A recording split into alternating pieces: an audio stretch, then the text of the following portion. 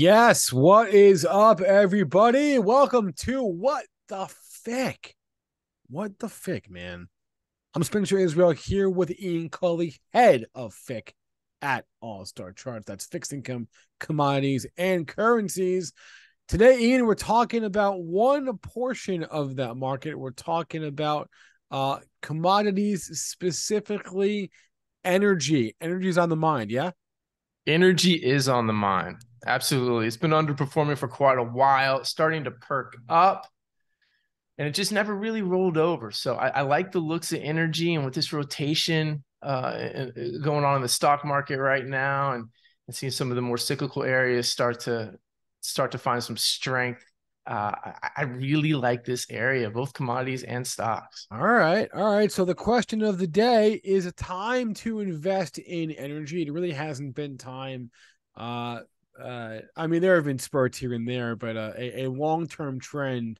Uh, it's been a long time since we've seen one of those uh, in in energy. Uh, so that's the question of the day. And if you agree with Ian's take, Ian's thesis, how would you go about doing that? What is the best way to invest in energy right now? That's what we'll talk about. Let's bring up the charts. Uh, what is this? This is a commodities subgroup chart break it down for us here, Ian. Right. So the first few slides, I just want to kind of, you know, lay the groundwork, um, bigger picture, kind of like that top yes. of the top down approach of why I like these stocks, uh, these energy stocks in particular that we're going to get to towards the end of this uh, uh, of the presentation. First, like you say here, this is a commodity subgroups. Uh, this is their performance since the dollar peaked uh, September 26th, uh, last fall. And as you can see, energy out of all of the individual commodity subgroups, livestock, the softs, the precious metals, you know, grains and base metals, it's performed the worst. Oh, I know. It's the, it's it's at the bottom of the chart. I, I was it. I was looking at the top and I didn't see it, and it's all the way at the bottom. I know. I yeah. I, you know, I had to I had to expand or pinch uh, that y axis just to get it on there. Oh, that's not a good sign. Not a great sign. But when we zoom in, Spencer, we zoom in since uh, since May 1st of this year, tables look like they're turning. Near term, we're seeing energy take a leadership role here within commodities. Yes, livestock still at the top. It's hard to beat those trends in livestock. Um, and it looks like you know uh, hogs are, are, are starting to catch a a bit too. Hopefully, we'll, we'll get to that on Friday. Uh, but today, it's energy. It's looking good. And what's what's funny is when you know I look at the CPI year over year change, and you know it, it came in, I believe, a little bit lower. Or was it PPI that came in a little lower than expectations recently? Um, it's all energy, baby. Energy deflation energy deflation. But what's so funny is you look at the CRB index, I mean, I don't seem too worried about it. They don't. They don't seem too worried about this potential deflationary environment and recession that uh, appears imminent based on the data, um, which I think is interesting. And then you know, energy relative to base metals, and the reason I I, I put pit these two areas of the commodity space together is because they're the two key pro cyclical areas of the commodity space. They're the two groups that perform the best when interest rates are on the rise. And you know, there's no signs that interest rates are rolling over, at least not yet. And what's what's I really want to point out on this chart, and I've shared this chart many times before on the show, is that energy is digging in and starting to catch higher at a logical level where it's where it's dug in numerous times you know aside from 2020 when when crude oil traded negative um over the past decade. So logical level to see energy beginning to dig in and outperform other post-cyclical areas specifically base and industrial metals. I think that's important. Two more charts really start to get into it. Commodities relative to bonds. This was this is the most important chart for me heading into the end of 2020, early 2021. I mean, I wrote a an obnoxious post about it on uh, on my blog at the time. uh, you know, most important chart, the only chart you needed on your your your your screen, and because this is showing this decade long trend reversal. You know, commodities are beginning to outperform bonds in a serious way for the first time more than 10 years. Now, since then, they've absolutely ripped, run into a logical level to pause relative to bonds. And it's a healthy consolidation to me. So, again, not there yet, but I think we could see a possible uh, uh, continuation of this trend. Uh, you know, see what happens here at the back half of the year, and that's and that's really what I'm focusing on here. I think energy begins to outperform, and we begin to see bonds continue to trend higher relative to its alternatives, bonds and stocks. Stocks, yes, stocks. So at you know 2020, this peak, this the, the top red arrow here, that's when crude oil traded negative. Mm. Right, crude oil trade negative, and it has been, you know, the the, the stocks relative to uh, to commodities has been has been trending lower ever since. You know, running to a logical level to see a, a, a confluence of resistance, if you will, a key retracement level from its recent decline off that 2020 high. Um, so wait, hold on. So this and is the downtrend line. This is yeah. the S and P versus CRB index, yes. the, the, the commodity index that that you use. Um, and this is what is this chart saying? This chart saying that the S and P has underperformed. It hasn't underperformed um, since the middle of last year. Um, it has been stocks have have un, been underperforming commodities uh, since uh, the spring of 2020. Yes, absolutely. I really That's wouldn't a, have get. I really wouldn't have guessed that honestly. Yeah, I mean, it, um, you know, commodities are sneaky, and and that's the you know, really want to to focus and share with with viewers and readers in the you know in the coming months in the coming years on how to take advantage of continued strength in the commodity space while trading stocks. And we're going to look at some stocks later here um, in just a few minutes and but that's really that's really my goal because a lot of people most most investors aren't out there trading natty gas futures. They're not out there you know buying uh, gasoline or right. heating oil futures or even crude oil. So i think there's, there's there's plenty of ways to express our bullish thesis and we are going to show some of those. Share i'll share some of those with you uh, here shortly. Here we got energy you know, this has really been one of the big stories. I mean, how many times have we shared this chart, Spencer? And you probably, so, yeah, probably so, tired so, of seeing this. So, so the, this is the XLE. This is the largest uh, energy, pure energy ETF uh, on the market. If you if you wanted to place a broad, diversified bet on energy, you would do it via the XLE, right? Yep, absolutely. Yep. And what's really interesting is that these energy names these the biggest energy names, the energy stocks haven't really rolled over, at least not nearly as much as crude oil. Part of that is just the function of the actual assets themselves. Uh, commodities are far more uh, volatile, and we're going to see steep, deeper declines through price uh, than we're than, than, we're going to witness uh, in, in, in stocks. Regardless, regardless, still extremely constructive uh, for the bull case to see these energy names hang in there as its underlying commodity, crude oil, is definitely sold off in the past year. I think, you know, both of these digging in and catching higher. I think that's that's the the the the a, possible that's a possible outcome. I don't I, I don't think we see XLE and just energy stocks in general catching higher if if crude oil doesn't dig in and do the same. Right. So you're saying crude, which which hasn't hasn't played ball really. You're thinking crude oil goes up, and it's going to take the whole energy sector with it. Yes, absolutely. Okay. And the thing is, you, you just mentioned crude hasn't really been playing ball, but it's starting to. Crude's starting to play ball. Let's go ahead and run to the crude oil chart first. Then here's crude oil futures. You know, just hanging in right right below, right below those 2018 highs. This is the, the, the peak of the prior prior cycle. This is when risk assets just peaked globally. And it's just hanging just below that. Not really not falling over, but hanging in.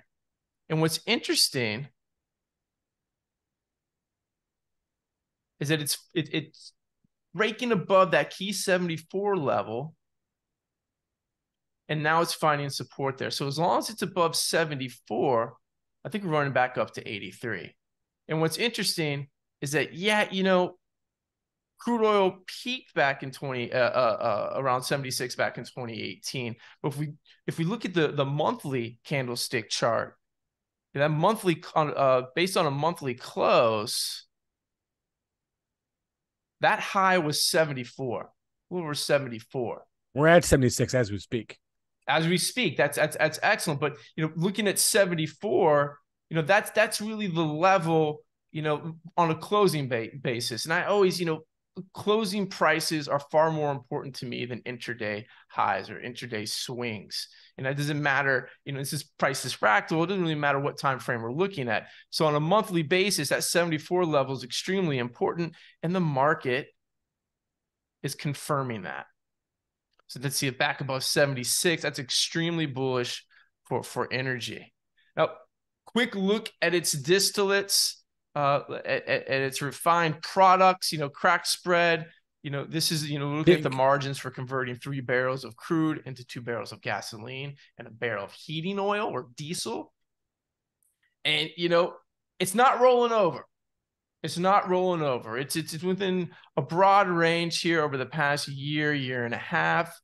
Uh, it definitely uh, has come off its its its peak from early 2020 to, um, but you know it's it's not it's not any really key information here it looks it looks an awful lot like the individual contracts right here we have uh gasoline futures holding above its prior cycle high from 2018 and i think if it gets back above 281 285 you know maybe we can see it running back up towards 350 you know and looking you know zooming in and looking at the daily chart i mean it's a construct, constructive reversal pattern here heating oil, you know, dug in. It found uh, found support, the shelf of former highs, you know, and it's back above its 2018 peak. Constructive, trying to break and resolve higher and fight by violating this this uh, you know almost year long down trend line. So constructive action here in the distillates. Want to see heating oil get over spot. That would be extremely bullish. See if we get there. Here's the thing, USO. Here's the thing I like about all these, right? Uh, mm-hmm. as you got the USO up right now, is like we talk like mostly mostly about stocks on the morning show, and it's like it's very easy to see like look after the fact and say, oh, you should have bought when it was back down here. The stock has already gone up uh 30 40% in the last month where you been right um what you're not doing that here you you you're saying these all these charts all these um indexes etf stocks futures whatever uh they haven't really started to go yet but i think they're gonna start to go and that's why i'm interested and we say all the time in order for something to start going up it has to first stop going down. And yes. you're and you're saying that these markets have all stopped going down, and that's why you think they're ready to start going up. And uh, maybe we look back in a month or two or three or four and say, "Oh my gosh, we should have we should have bought energy over the summer. What were we thinking?" Well, Ian's doing that thinking right now. So let's go back to that USO chart that you're on, you, and uh, yeah, you nailed it, Spencer. You absolutely nailed it. And we're seeing near-term strength right now that that that's that's pointing us in that direction. Like, hey, yeah, it's these these areas of the market, energy has definitely stopped going down. They're starting to take out key pivot highs from earlier this year. And we can start buying on strength from a tactical perspective. Uh, looking for longer term structural trend to kick back in higher. So, absolutely 100%. USO you know, 66 and a quarter. You know, that's the the the comparable level that we have here for 74 on crude oil futures. You know, broke above that, retested, holding above that level. As long as above there, think about it back up towards 72, eventually retesting those those former highs here around 92. And here's another way to look at it. And here's and, and here's the thing: hmm. it's obviously stopped going down, and you know we can buy against these levels, like say 60 here for USO. Now, I generally don't like to buy weakness. I like to wait to see that these that an asset is actually catching higher. I, I want that confirmation in, in, in the way of price and in the way of momentum. Once I get those data points, then I want to really, you know, start to get long. I don't want to just jump headfirst into a market because uh, because you know it stopped going down. Um, Regardless, um, you know, you could get long here against 60. Uh, here's another way, a, a couple of other additional targets up here for USO around 85. And then this 2018 high here. So the, this one looks like, uh, you know, in the short term, at least a downtrend going back to whatever that is, the the the middle early year of early part of last year, right? Um, but to your point, you've got a level to lean on, right? 59.98 would be your level, right? Yeah, that absolutely. Would, absolutely. Be, in, in, a, in, a, tighter, more tactical level would be that yep. uh, 66, um, 66 yep. and a quarter. Yeah, okay. absolutely. Or just the, the pivot lows from earlier this week or last week. Um, here we go. Switching gears to Natty Gas. Got to talk about Natty Gas. Uh, I'm not going to get into a, a bunch of Natty Gas stocks. But I mean, this is what I see when I look at Natty Gas. I mean, this is it looks like we're bottoming here, you know, and you know, not getting a buy signal quite yet, not getting a breakout, but we're heading into an, a, a period of the year where Natty Gas has a tendency to do really well. Now, this alone, the seasonality, is isn't a buy signal alone, but it's it's giving me a heads up that you know we are heading into a, a, a bullish bullish period of the year for Natty Gas. Mm-hmm. On top of that, we got commercials unwinding a historically large long position. That's more fuel for the fire, more fuel for the rally. Uh, so let's just see if this this unwind continues to take place. If it does, you know, strong hands move markets, Spencer big money moves markets. And if they continue to unwind this position, I think we can wait. So explain explain the bottom pain here of, of what that chart is. So the the red line are the commercials. They're they're the the they're the the smart money. Okay. They were buying hand over fist when Natty Gas got down here and started uh and bottomed out here uh, uh earlier in the year, earlier this spring, right? Because it was cheap it was on sale, right? So now they're starting to unwind. They're starting to take profits. Uh, they're, they no longer feel the need to hedge uh, uh, as aggressively. Um, so yeah, and, that, and, I think once once they continue to to to unwind those those, those longs, then wait, wait, wouldn't that be a bearish sign? No, no, not at all. No, not at all. Because in the futures market, you have you know, it's a zero sum game. So for every uh, seller, there's a there, there, there's a buyer and, and, and, so forth. So as as they can as they unwind, as as as think of it as as supply kind of comes on, um, it'll rip. It'll absolutely rip. Okay. Also, good to see Natty Gas futures hit uh, uh, an overbought reading here. But to be clear, natural gas is not your favorite energy. It's not your favorite energy market within energy right now, right? No, but I, if we are going to talk energy, I didn't want to completely yeah. um, leave okay. natty gas out of the picture here. And I think looking towards the back half of the year, you definitely want to have natty gas on on the radar. Okay. I think we can have a huge rally in natty gas. As of right now, you know, I don't want to get long, but we do have levels 285, 286 here for the futures heading back up to five uh, for UNG, getting you know back above 750, and we can rip back up to 16. All right, we're looking at a double here in UNG. You know, got to get out of this bearish regime though. Gotta mm. get out of this bearish regime. Um, but moving on to to to the stocks, moving on to to um to XLE in particular relative to tech. So you pointed out earlier when we were looking at, believe we were looking at USO. So you know, it looks like you know dude, bigger picture. It's it's been in a downtrend. This chart's a killer, man. This chart's right? a killer. So this is where we've been. This is what you know. And I'll be honest, I really didn't start uh, actively trading the markets until about 2016. Right? I did a lot of reading. I did a lot of research. You know, starting back here in 2011 before I even took the leap. Um, and this is this is what this is what I I know when it comes to energy versus tech. Uh, uh, tech, go, tech goes up, energy not energy so just goes down. Yeah, you know, um, I think we're coming out of that.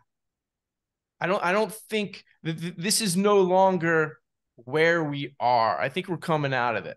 Right? I think we're getting a big reversal here.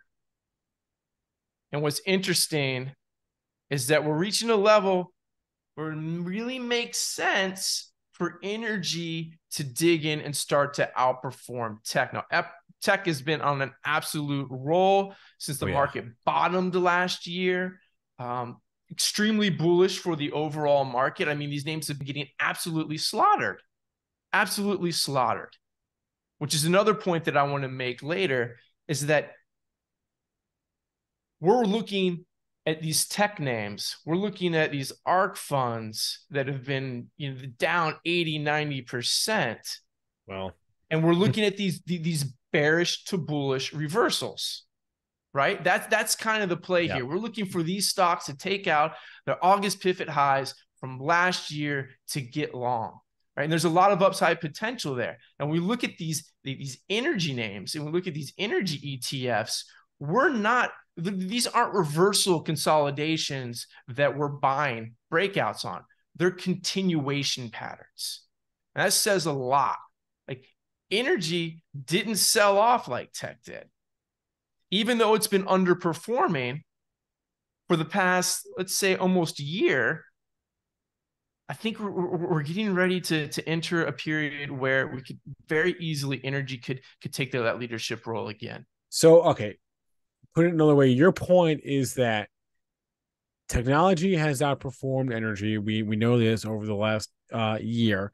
Um, yes, but it's not so much due to the fact that energy has been bad so much as it is that technology has like it it it went up a lot then it went down a lot and now it's going up a lot again so but but in in the meantime of all that of tech you know uh playing zigzag energy has been slowly and steadily forming a trend i think that's what you're saying right yeah, it's, it's just it's been consolidating and building up energy. Think of it that way. It's been coiling. A lot of a lot of names have just been coiling, building up energy to to expand and and and, and, and kick off another leg higher. And that's what price does. It expands and it contracts. It expands and it contracts. Right. So as energy has been, or excuse me, as tech has been, you know, breaking higher, coming off of these historic lows, expanding, ripping, to the upside, energy has been contracting. Um, and, and here's the thing energy can begin to outperform. We can see this XLE XLK ratio, you know, start to rip higher. That doesn't mean tech stocks are falling apart. Both of both of these areas of the market can can can can trend together.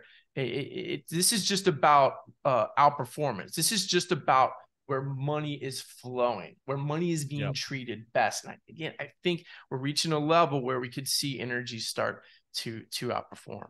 All right. Do you have a few favorite energy stocks right now? Well, you know, I've got a bunch. I only brought a few with me today. I have okay. a bunch. Um, we're gonna rip through those real quick. You know, here's Chevron. I brought the big boy here. You know, if if you got involved in those Chevron leaps, I believe that was that last year or the year before. I mean, I can't remember when they started buying Chevron leaps, but I know that was an amazing trade. Kudos to you if you were a part of that. I think JC's getting getting long again. Um, you know, back above 184, I think we're heading we're heading towards 250. Exxon Mobil, I mean, when it reclaims these 2014 highs around 104, it's almost there. I like it long towards 150. You know, we're looking at, you know, 50% of upside here in Exxon Mobil. And what's interesting though, you're looking at XLE, it's kind of, you know, it's not falling apart, it's coiling. You know, near term, since October of last year, it's kind of just kind of trending, trending lower, trending lower.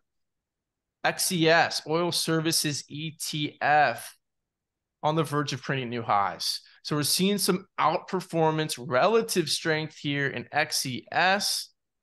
And here's that ETF here. If and when it gets above 91.50, I like it long up towards 126.50, this polarity zone here. You know, it broke out and retested that 68.50 level, and it's looking good. And you see even down the lower pane here, we have a relative comparison uh, to the, the Russell 3000, the broader market. And it looks like it's in the process of, of completing a bullish reversal against the broader market.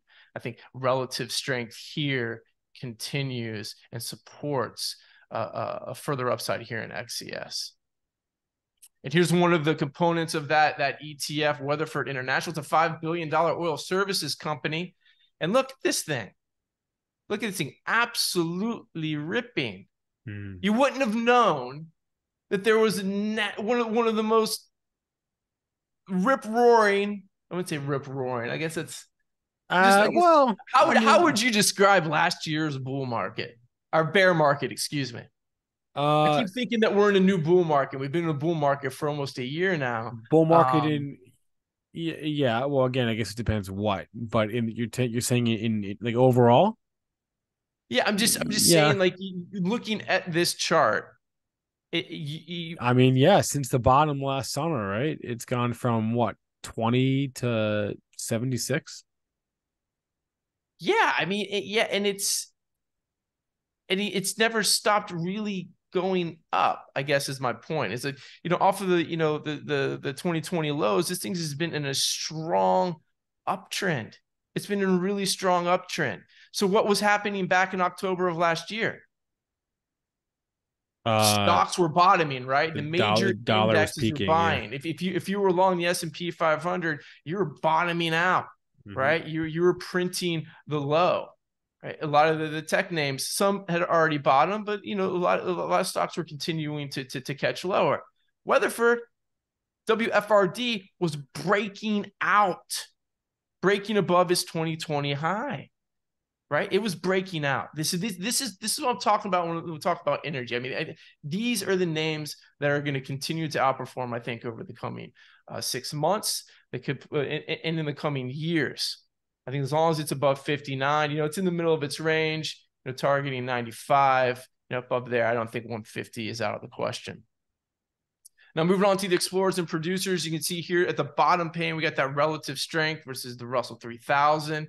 You know, not showing the same strength on a relative basis versus the broader market that we're seeing in XES, but this is a constructive, constructive looking base here. You know, I like it long if and when it gets above 188, uh, excuse me, 180 towards 336. But more importantly, there's some great charts here like Permian Resources, oh, PR. This, this, is a six billion dollar oil and gas E&P.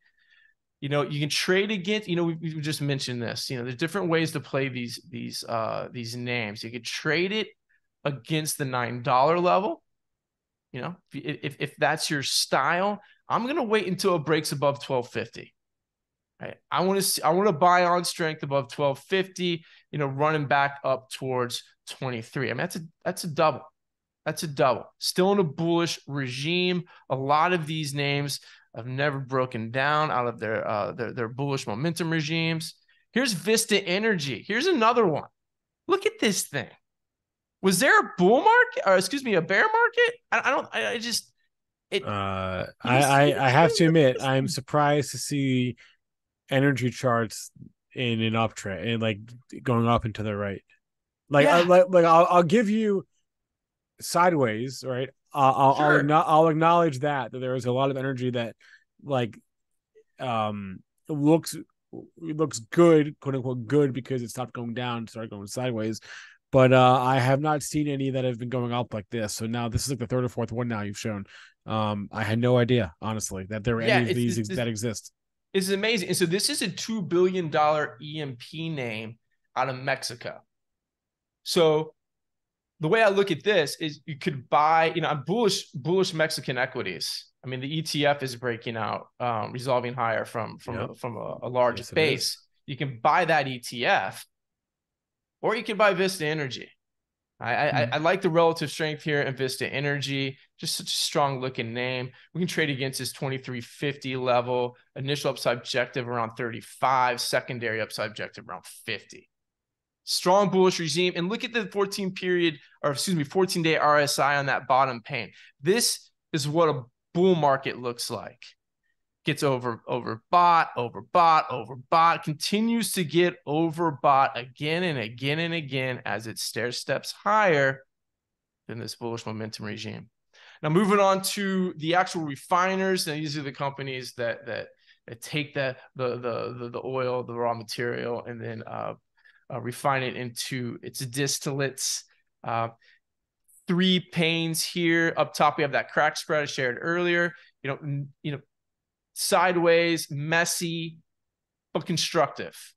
You know, Valero, one of the the, the big uh, components of this CRAK oil refiners ETF here that's on the, the bottom pane, you know, still dealing with with overhead supply, just as the oil refiners are still dealing with overhead supply. I think, you know, if if energy is going to get going, these areas are also going to participate. Here's a chart of Valero. Uh, potential multi-year, year, uh, year and a half uh, long uh, ascending triangle. If we want to get into to the patterns here, you know, I think break above 150, decisive close above 150, and we're heading up towards 186. Secondary objective, it's out there, but I mean, if energy gets going, these things could really rip back up to towards 280. Uh, I really like this Marathon Petroleum MPC. Uh, $50 billion oil refiner. This is a big boy. You know, if and when it takes out, let's call it 135. Decisive close above 135. I like it long up near uh, 210. It's getting close to a breakout here. Now the MLPs. You know, this is the Alerian MLP ETF AMLPs with, with infrastructure um, when it comes to energy. And this is that sideways. You know, this is that sideways. You know, uh, it's not ripping like uh, Vista or uh, some of the other names we've already looked at. Uh, this is a sideways trend, stuck beneath overhead supply around that 4150 level. If and when we get above that, I like AMLP long towards 66. Still hanging in a bullish regime, extremely constructive. And this is one of my favorite names. This is my favorite gas, uh, oil, and midstream right now. Full disclosure, Spencer, I own a bunch of calls. Um, but I like this strength. I like the breakout above 1150.